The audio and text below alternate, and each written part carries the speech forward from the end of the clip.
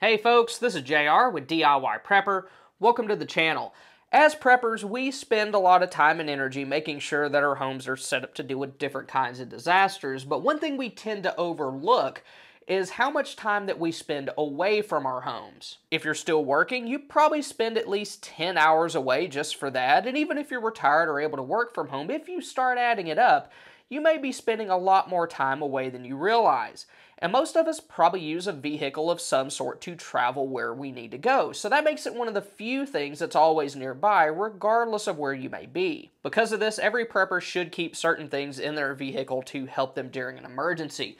Doing that will give you tools and resources that you can use if something unexpected happens while you're on the road, or if you need to bug out and you don't have time to grab anything else. And with everything going on in the world right now, there is a chance that if something unexpected goes down, you may have to do the best that you can with what you happen to have with you. So today we're going to cover some mostly inexpensive items that anyone could keep in their vehicle, whether you have a big SUV or small compact car, and how those items can complement other things you already have as part of an EDC bag or your on-body EDC or everyday carry. And a good place to start with this is cover and shelter gear. And yes, you should try to use your vehicle vehicle as shelter whenever possible, but it's still good to have the ability to make emergency shelters or have other things that can help you stay warm and dry. A tarp is a good basic piece of gear that would be useful in a survival situation, but also has a lot of everyday uses. They're very good options for emergency shelters because they're waterproof and they'll also take up a lot less space in your vehicle than something like a tent would.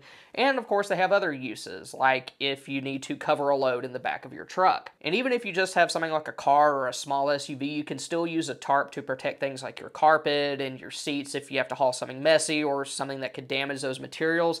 That if you need to change a tire, you can use a tarp as a ground cloth to help keep you dry and avoid messing up your clothes.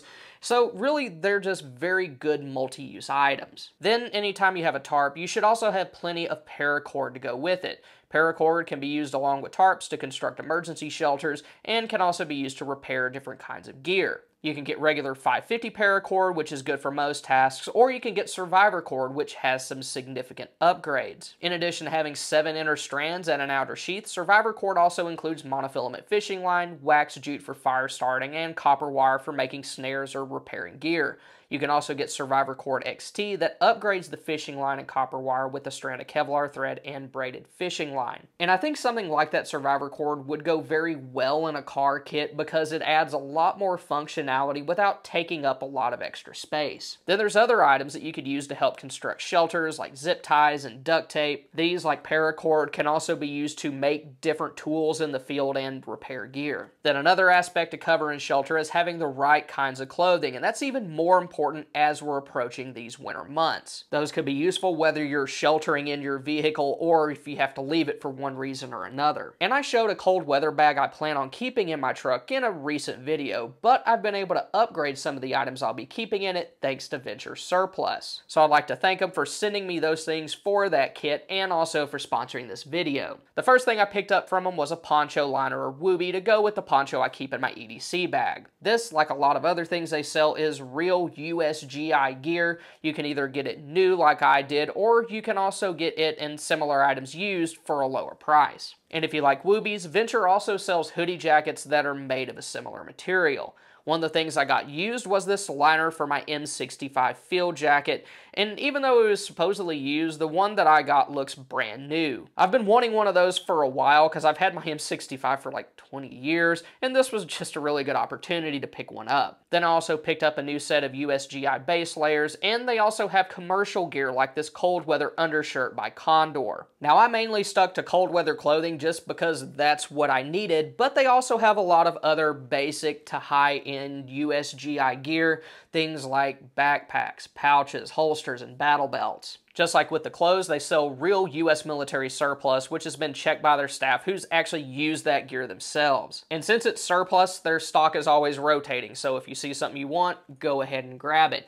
You can check them out at venturesurplus.com, and if you decide to buy anything, be sure to use the code DIYOC10 at checkout to get 10% off. Then aside from all that, I'll also be keeping some other items in my truck like some nice wool socks and hunting boots. The boots are very well insulated and they're water waterproof, but if I had to travel on foot for a long distance, I would probably want something a little bit different. I'll also be keeping a wool blanket in my vehicle along with a couple of extra emergency blankets and some ponchos to make sure anybody that's with me is taken care of also. And aside from all the winter gear, you should have a regular change of clothes in your car as well. That's really important if you're somebody who has to dress up for work because a lot of that clothing, especially like dress shoes, are not good at all if you need to travel a long distance on foot. Then it's also a good idea to have other kinds of survival gear in your vehicle. While I keep a good knife in my EDC bag, I do also like to keep a backup in my truck. So between those two, my two regular EDC blades, and the multi-tool I keep in my bag, I'm pretty well set. A hatchet or camp axe is another good tool to have since they'll help you do basic survival tasks,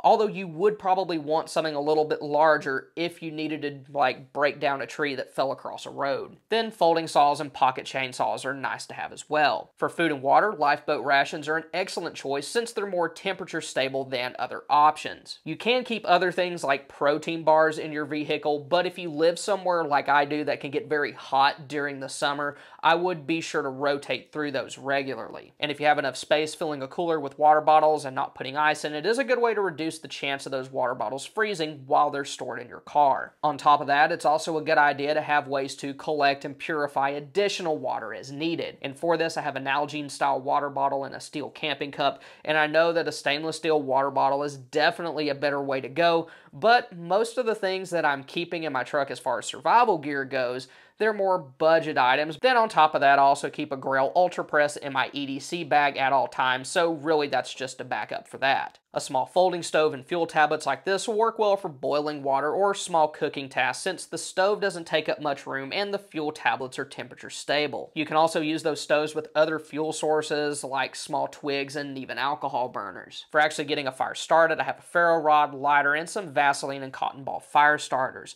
Emergency candles are another good thing to keep in there. You can get them in jars like this one, or you can also keep a candle lantern and some spare candles in there also. But you probably do want to take those out during the summer just so they don't melt. Another thing I like to keep in my truck is a trifold shovel, and since they fold up, they don't take up a whole lot of room when they're not in use, and if you get a real USGI shovel, they're very durable. This one was made in 1983 and it's still working just fine. Shovels like that can be used to help dig you out if you get stuck, and they can also be used for other tasks as well. It's also a good idea to have several pairs of gloves with you. Gloves like these can be used to protect your hands while working, but they can also help you stay warm during cold weather when they're used with wool glove liners. Then I'm also going to keep an old butt pack in there also. These can actually hold a lot of stuff, and if you have an old shoulder strap, you can attach that to the eyelets on the back of the pack and make yourself a decent little shoulder bag. First aid items are another good thing to have. This is just a small kit that I picked up at a local store that I keep under my seat. These are okay for small things like little cuts and burns here and there, but you may may want to have some other items as well, like this is a tourniquet that I keep in my EDC bag. Now for defense, a lot of people like to keep some sort of long gun in their vehicle at all times. That's not something that I do just because of my current parking situation. If it was different, I probably would, but I do go ahead and load one up anytime I'm taking a longer trip, especially if it's overnight. But another thing to keep in mind is I do carry on my person, so I'll at least have that with me. Having a map and compass will help you navigate. They're especially useful if you can't use your primary routes for one reason or another. You can use those maps to find maybe smaller, hopefully less trafficked roads. Just be sure to have maps for anywhere you're likely to travel, including if you're on vacation or on the road for business. A notepad and pencil can help you take notes so you don't have to fiddle with a map all the time, and they can also be used to leave notes on your dashboard if you need to leave your vehicle vehicle. And I do think it's a good idea to have at least one pencil in your car because those aren't going to dry up or stop working like a pen could. And even though these aren't necessarily survival items, I do like to keep things in my truck to help deal with personal care and hygiene. I keep a bottle of hand sanitizer in my truck's door to help me deal with any nose picker germs from the guy who used the gas pump right before me. Then I also like to keep some wet wipes in there in case my hands get dirty. I can scrub them off before I eat or do anything else that I don't want to have grubby hands with. But if you're going to depend on your vehicle, you want to do everything that you can to keep it running as long as possible. And to do that, you're going to need tools. A good jump pack like this will allow you to jump start your vehicle by yourself without having to depend on a nice stranger to help you out. Most modern jump packs are small enough to fit in the center console of your car, and they still provide plenty of power. They have lithium ion batteries, so they should also be able to store for a long period of time. Now, as good as these are to have, they aren't foolproof. They can get turned on accidentally and drain, and over time, the batteries will start to degrade. So, because of that, you should have some good quality jumper cables as well. As a general rule, you want your cables to be 6 gauge or lower. Remember, the lower the gauge, the thicker they are, and you want them to be around 15 or 20 feet long. Having cables that thickness and that length will be sufficient for most people to do the job safely, and also be able to connect the cables easily. Another thing you should have in your vehicle is a spare tire, and I know that isn't a tool, but a lot of new cars don't come with them anymore. So if you bought a car within the past several years, you might want to double check that you actually have one. Then other things like portable inflators, jacks, breaker bars, and a socket to fit your lug nuts on your car, those are all good to have as well. If I'm traveling, I like to keep an extra gas can in my truck. Having that would allow me to have a little bit extra fuel if I start to sense things might start to go downhill, I can go ahead and top off my truck, fill up that gas can, so I'd have at least a little bit extra fuel to get me closer to home or some other safe location. For nighttime situations, it's nice to have some LED flares like these to help approaching motorists know you're stopped because a lot of accidents happen when people are parked by the side of the road, especially at night.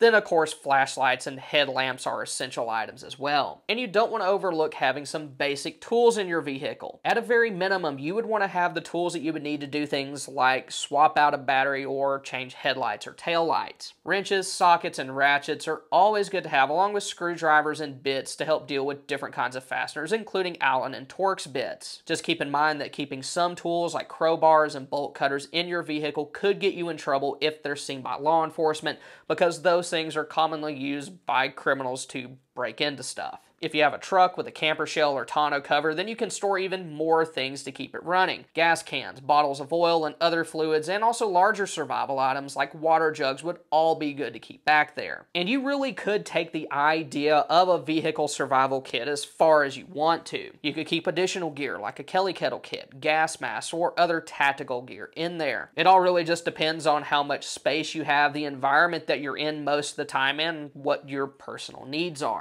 And one thing your vehicle would be an essential part of is a bug out plan. So if you want to see things that you should take with you if you needed to bug out, then click here. Or if you want to see things that you need to bug in, then click here. Once again, I'd like to thank Venture Surplus for sponsoring this video. Thank y'all for stopping by. Y'all have a good one.